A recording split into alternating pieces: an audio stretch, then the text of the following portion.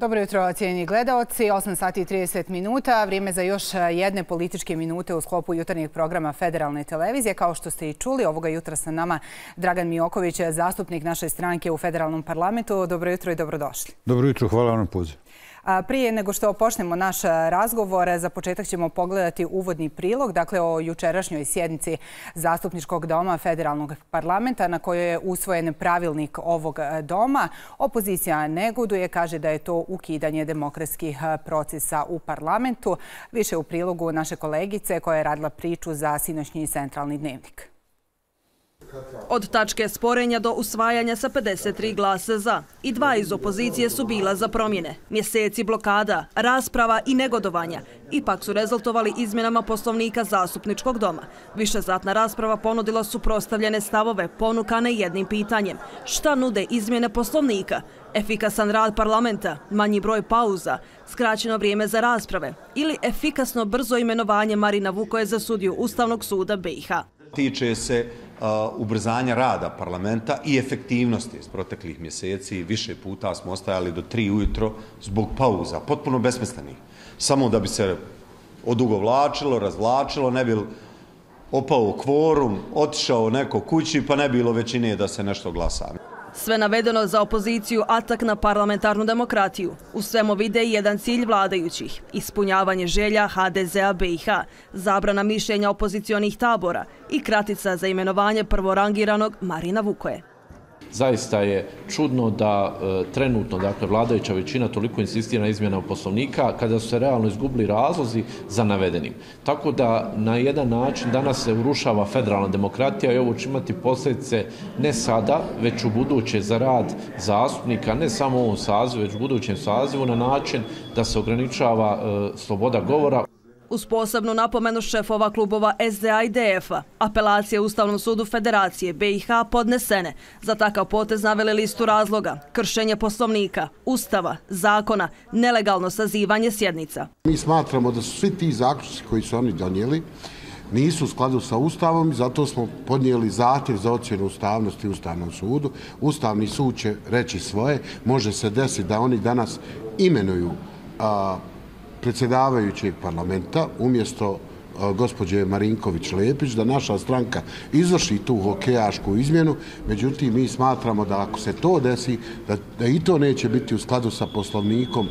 A nakon izmjena poslovnika na dnevnom redu planirana tačka izbor i imenovanje, no ne i pred zastupnicima na raspravi. Predsjedavajući današnjom sjednicom, ali i komisijom za izbor i imenovanje, opravdanje pronašao u nedostatku materijala. Federalni parlament odblokiran, komisije redovno zasjedaju, imenovanja ponovo u fokusu. Čekaju se konkretna imena za poziciju predsjedavajućeg ovog doma, ali i sudiju Ustavnog suda BiH. Gospodine Mijoković, evo, više mjesečna saga oko poslovnika je konačno završena, usvojen je. Hoće li ovo u konačnici osigurati efikasniji rad zastupničkog doma? Hoće, ovo će osigurati efikasniji rad zastupničkog doma. Osigurat će ovaj, e, lakšu prohodnost. Osigurat će e, to da sjednice parlamenta e, budu, ja ću reći, u nekom u nekom tonu koji, koji će biti radnog, a ne destruktivnog karaktera. E, činjenica je da se e, dijelovima, da je opozicija prilično vješto, dijelovima poslovnika koji nisu precizno regulisali ovaj, e, djelovanje poslanika tokom sjednice, ja ću vas posjetiti da je poslovnik ono po čemu se radi na sjednici, znači Eh, opozicija je to koristila da eh, se mi ne bavimo onim što nam je primarni zadatak, nego praktično sami sobom. Ja sam definitivno uvjeren da ćemo sada ovaj, moći efikasnije rad. Opozicija navodi, kao što smo mogli čuti u prilogu, da je to ukidanje demokratskih procesa u parlamentu Federacije Bosne i Hercegovine i također da je to određena prečica kako bi došlo do imenovanja Marina Vukoje da vam kažem, danas srećom postoji Google. Vrlo jednostavnom provjerom procedura, naravno oni koje to interesuje, mogu uporediti ove izmene koje, su, koje, su, koje smo mi sinoć juče usvojili sa pravilnicima ili poslovnicima ovaj, parlamenta EU u okruženju. -huh. Ako se ako pronađe se i jedna razlika drastična a, između ovoga i, i, i, i kako se tamo radi, onda mogu prihvatiti takve, takve konstatacije. Što se tiče a, imenovanja, a, odnosno blokade komisije za izbor i imenovanja, to je još jedan spin, ovaj, to vezano za poslovnik, jer sve vezano za komisiju za izbor i imenovanja, mi smo završili na prošloj osmoj redovnoj sjednici, izmjene poslovnika s tim nemaju apsolutno nikakve veze. Zbog sjednice koju ste i sami spomenuli, opozicione stranke SDA i DF su podnijele apelacije Ustavnom sudu Federacije Bosne i Hercegovine, negdje niz razloga, kao što smo mogli i čuti u uvodnom prilogu. Šta mislite da će se u konačnici desiti? Kakav bi epilog mogao biti? Ja kao legalista prije svega ohrabrujem evo u ovom slučaju opoziciju da svaku odluku koju smatra problematičnom ovaj delegira Ustavnom sudu radi provjere.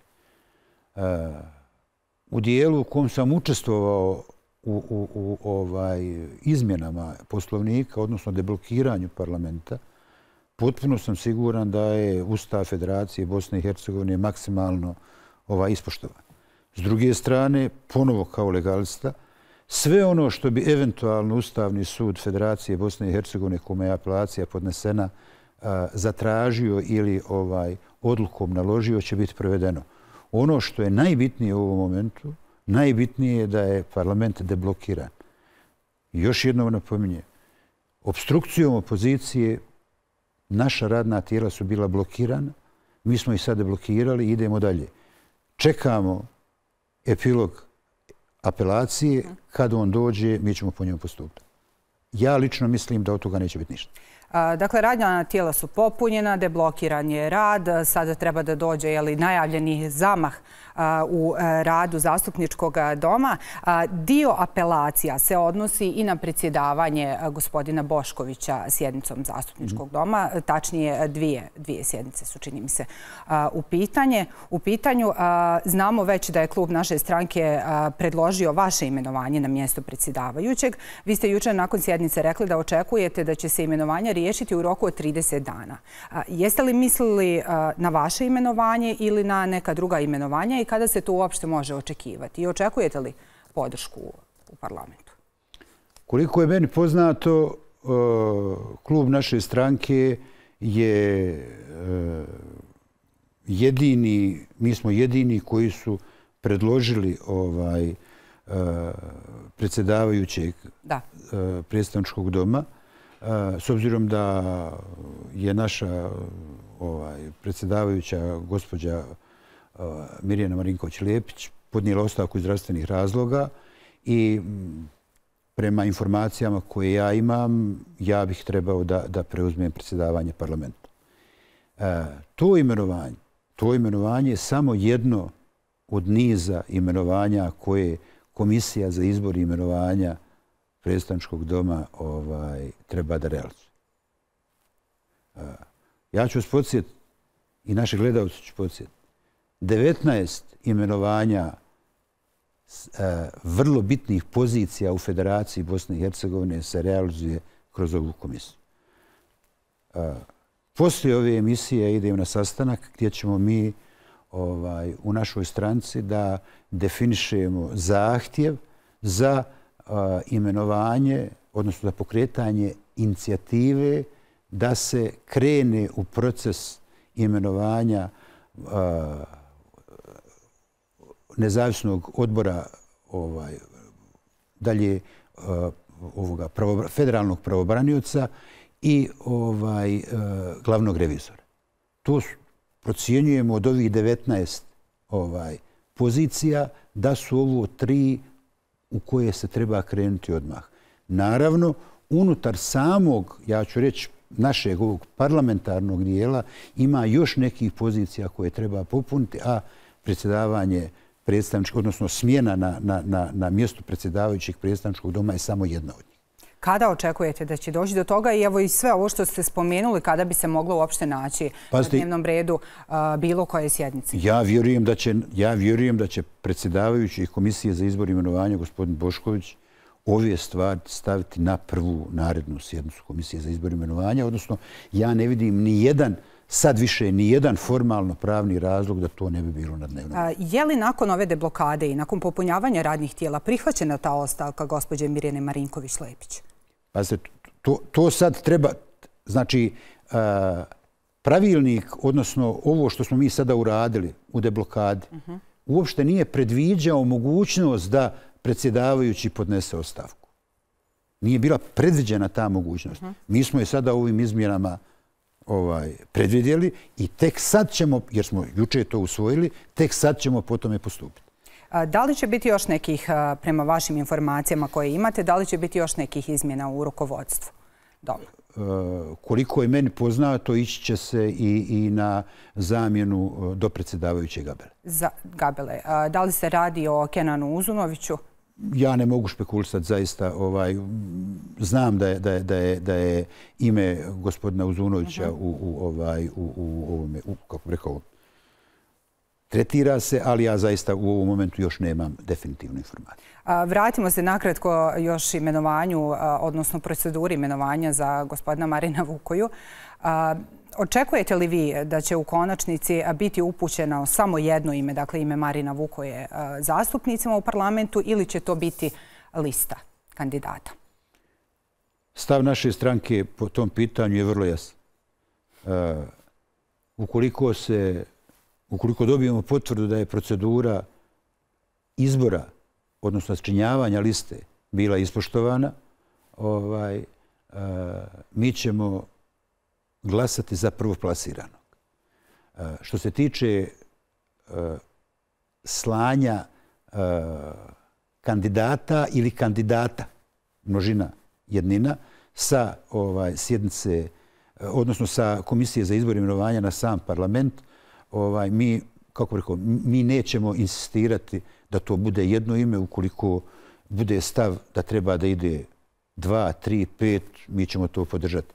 S druge strane, prema našem mišljenju, s obzirom na proceduru koja je provedena, a provedena je, ovaj, i upućivanje prvoplasiranog bilo sasvim u skladu sa procedurom. Dakle, ne smetaju vam određene ocjene po kojima gospodin Marin Vukoja nema adekvatno znanje ni iskustvo za tu poziciju? Podsjeću ću vas na jedini kriterij za izbor sudije Ustavnog suda koji se bi, e, Bosne i Hercegovine koji se bira u parlamentu Federacije Bosne i Hercegovine, a odredio ga je Ustav Bosne i Hercegovine. E, ti kriteriji su sljedeći. Da je diplomirani pravnik, da je visoko moralan i da ima pravo glasa. Također ću vas podsjetiti da je 2005. godine komisija koja je provodila konkurs za izbor tadašnjeg sudije samo inicijativno proširila te kriterije na to da ima pet godina iskustva u struci i položen pravosudni ispit. Znači što se desilo? Ustavni sud Bosne i Hercegovine je oborio taj konkurs. Prema tome, ovaj, naša stranka je jedini politički subjekt u federaciji koji je podnio pismeni zahtjev da se krene s procedurom izmjene pravila za izbor.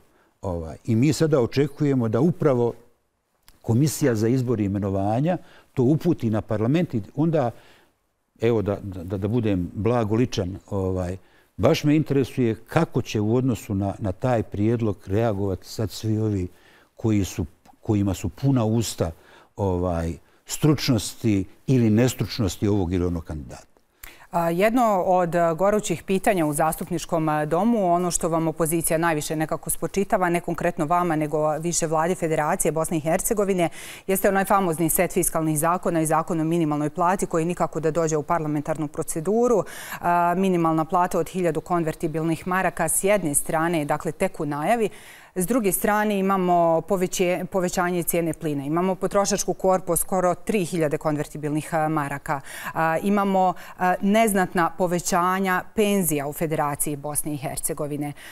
Šta vi mislite i kakve informacije imate? Hoće li taj set fiskalnih zakona i minimalna plata u istinu biti usvojeni u ovoj godini i hoće li građani dobiti tu minimalnu platu od 1000 konvertibilnih maraka? E, Lično smatram da, da, su, da, su, e, da je taj set tih fiskalnih zakona praktično, ja ću reći, trenutno najvažniji set zakona za Federaciju Bosne i Hercegovine. Također mislim da, e, ja ću reći, kompletna priča u vezi sa, sa donošenjem tih zakona da nije dobro iskomunicirana. Na kraju svih krajeva, na jednoj od prijetvodnih sjednica, podprijedsjednik vlade, gospodin Mijatović, je vrlo jasno ovaj, objasnio o čemu se radi, jer on je bio jedan od, od onih koji su ovaj, da, koji je najavljivao, tako, koji je najavljivao. rekao je, znači čovjek je rekao da je, da je jednostavno bila pogrešna procjena u komunikaciji i da je ključni razlog zbog čega su ti fiskalni zakoni ovaj na čekanju, e, praktično e, e, digitalizacija fiskalizacije, znači ovi, ovi fiskalnih kasa koja mora biti prethodno urađena da bi, da, bi, da provođenje ovih zakona u praksi ne bi ugrozilo ovaj između ostalog i, i, i, i penzioni sistem u Federaciji Bosne i Hercegovine. Uh, prema mojim informacijama na tome se intenzivno radi i ovaj ja, ja zaista ne bih smio sada, jer, jer nemam dovoljno informacija uh -huh. da govorim o, o nekim rokovima, ali mislim da, bi, da, da u ovoj godini ovaj to mora bi moralo doći na dnevni red ovaj parlamenta usvojeno i krenuti u primjenu. Uh mhm. -huh. imali smo dosta reakcija odmah nakon usvajanja e, budžeta za ovu godinu, da zapravo taj set fiskalnih zakona, ukoliko ćemo suditi po određenim tačkama u budžetu, zapravo neće biti u primjeni ove godine. Ono što me zanima jeste šta konkretno mislite o ovoj hitnoj proceduri, dakle još jedna hitna procedura usvajanja budžeta Federacije Bosne i Hercegovine. Šta mislite konkretno o toj hitnosti i o budžetu usvojenom takav kakav jeste? Mi iz naše stranke smo i na samoj sjednici ovaj kada kada je budžet usvajan vrlo jasno rekli da ovaj e, ne odobravamo takav način ovaj donošenja budžeta koji je u praksu uvela praktično ovaj prethodna vlast jer je u kompletnom dvostrukom mandatu svaki put budžet tako usvajan. Ovaj i e, ovaj put smo pristali jer smo dobili, znači da se ide po, po, na usvajanje po hitnom postupku, iz dva razloga. Prvi je, e, dobili smo, odnosno iz vlade nam je predočeno e, pred kakvim su problemima bili u kontekstu donošenja samog budžeta kad se uzme u obzir kada je vlada stupila ovaj na dužnost uh -huh i zbog rebalansa budžeta koji je rađen u novijem prošle godine nije se imalo vremena i druga stvar koja je nama izuzetno važna i koju ćemo vrlo pomno da pratimo, ovaj, imamo znači garancije iz vlade da je ovo posljednji put da se budžet Federacije Bosne i Hercegovine donosi u hitnom postupku i da će to u narednom periodu, znači već za narednu godinu biti u redovnom postupku.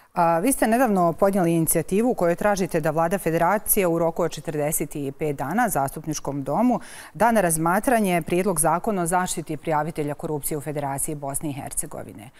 Očekujete li da će se naći uskoro u parlamentarnoj proceduri?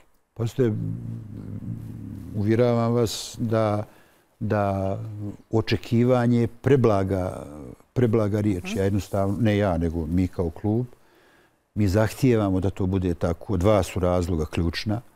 Prvi je da e, to je jedan od uslova za otvaranje pregovora Bosne i Hercegovine sa Evropskom unijom, taj zakon. Mhm. I imamo ga već na određenim nivoima. Imamo ga na svim osim u mhm. federaciji. Znači, na svim osim u federaciji, što je, što je a, apsolutno u, kako bih rekao, u kontekstu onoga što je kolega ovaj, e, Nikšić juče na, na, na sjednici rekao, a što danas, što se danas spinuje kao ovaj, ja ću reći nepatriotska i antidržavna izjava, ali da se vratim na, na, na odgovor na vaše pitanje.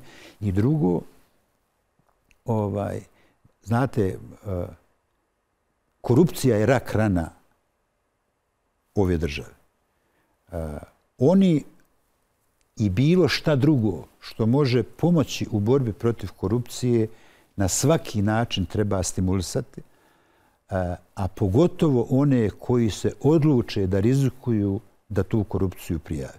Prema tome, bukvalno 45. dan od dana kada je inicijativa podnesena, ukoliko ne budemo imali vjerodostojne i za nas zadovoljavajuće informacije iz Ministarstva pravde, bez obzira na sve, ovaj, kako bih rekao, postulate našeg zajedničkog ili ako hoćete koalicijonog djelovanja, mi ćemo ministra pravde javno pitati šta je sa, sa, sa tom inicijativom. Jasno mi je da dolazite iz federalnog parlamenta. Evo i sami ste spomenuli da dakle, jedan dio od zakona koji se tiče evropskog puta i otvaranja tih pregovora. Samim tim ću se i nadovezati i na državni nivo. Vidjeli ste sigurno juče šta se dešavalo na sjednici parlamenta Bosne i Hercegovine. Kasnije reakcija iz delegacije Evropske unije. Kako vama to sve izgleda i da li mislite da ćemo u konačnici početkom marta otvoriti te pristupne pregovore, da ćemo napraviti novu stepenicu ukoliko ukoliko uzmemo u obzir ovaj kompletan rad koji trenutno imamo u državi? Ono što sam siguran je da, da zastupnici naše stranke u, u, u ovaj izvršnoj i, i, i zakonodavnoj vlasti na državnom nivou neće odustati ovaj do posljednjeg momenta da se bore za, za otvaranje pregovora sa Europskom unijom tri ključna zakona koje, koje, koji su stavljeni pred nas u našem fokusu. Kolega Kojević je to najbolje definisao i, i ovaj uh, sve mimo toga, znači sve mimo toga je, ja ću reći, šuplja priča i bacanje prašne u oči da bi se skrenula pažnja sa, sa, ovaj, sa tih, sa činjenice da su ta tri zakona neophodna, a to rade oni koji samo deklarativno podržavaju ovaj otvaranje pregovora. Ima takvih, ovaj pogotovo kad govorimo o, o, o nivou državne vlasti.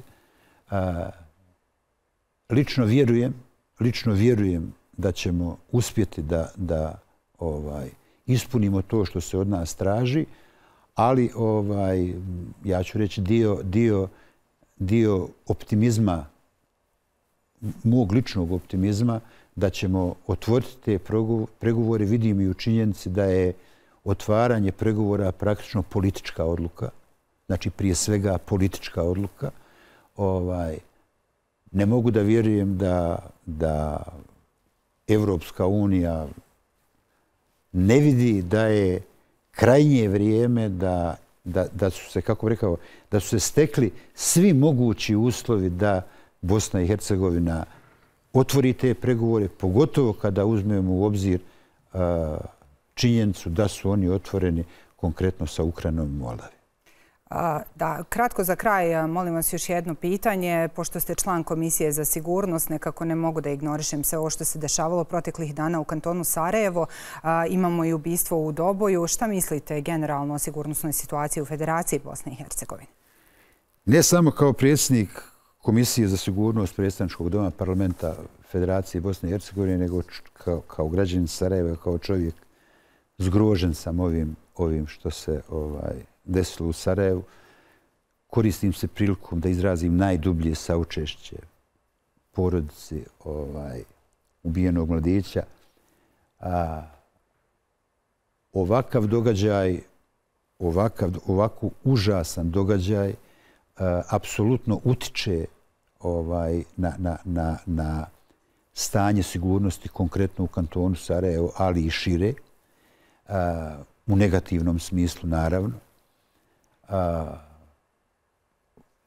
prosto je, kako bih rekao, postaje, postaje nedopustivo opterećujuće da mladi ljudi, perspektivni ljudi, pritom je mislim ovaj, i na, na, na eh, sve one u, u, u, u divljačkim saobraćajnim nesrećama stradale djevojke ovdje u Sarajevu, kažem, postoje opterećujuće da povratnici, kriminalci, eh, osobe sa dosijejima na ovaj način lišavaju života sasvim nevine i, i, i ovaj mlade ljude po Sarajevu.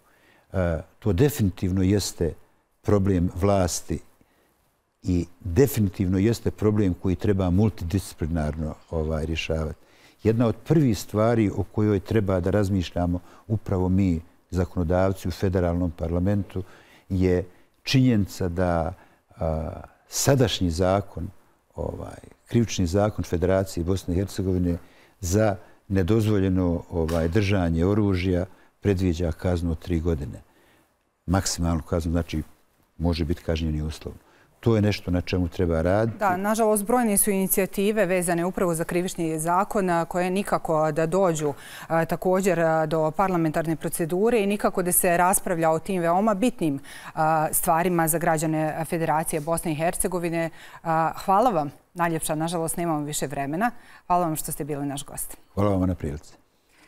Dragan Mijoković, e, zastupnik naše stranke u Zastupničkom domu Federalnog parlamenta, ovoga jutra je govorio u političkim minutama Federalne televizije, a toliko od mene i kolegice Kristine Pranjić u ovoj sedmici i družimo se već u ponedjeljak opet.